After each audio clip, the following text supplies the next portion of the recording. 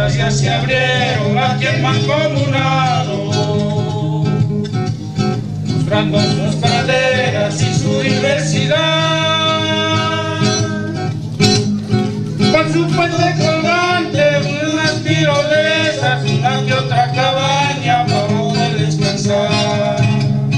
Hola, soy Metzli Beltrán, transmitiendo desde la comunidad Benito Juárez, perteneciente a la región de la Sierra Norte, donde se está llevando a cabo el vigésimo aniversario de los pueblos mancomunados, promoviendo un ecoturismo sustentable. A continuación, la información.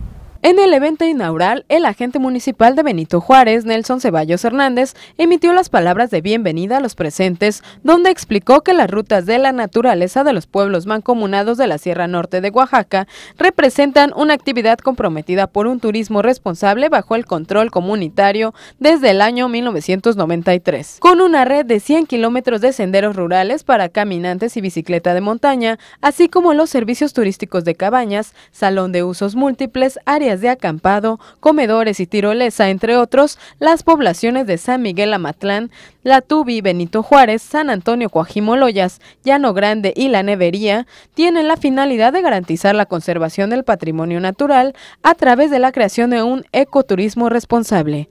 Por su parte, Angelina Martínez Pérez realizó la ponencia titulada Expedición de Sierra Norte, Pueblos Mancomunados. Es un área natural de excepcional belleza considerada por el Fondo Mundial de la Naturaleza como única en el mundo por su riqueza biológica.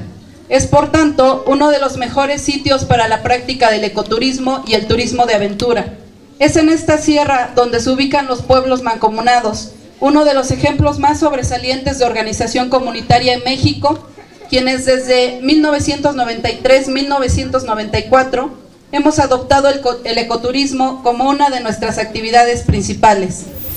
Y así fue como se develó la placa conmemorativa del 20 aniversario de los pueblos mancomunados. Hasta aquí mi información, me despido con imágenes de Antonio Coronel para MBM Televisión, reportó Metzli Beltrán.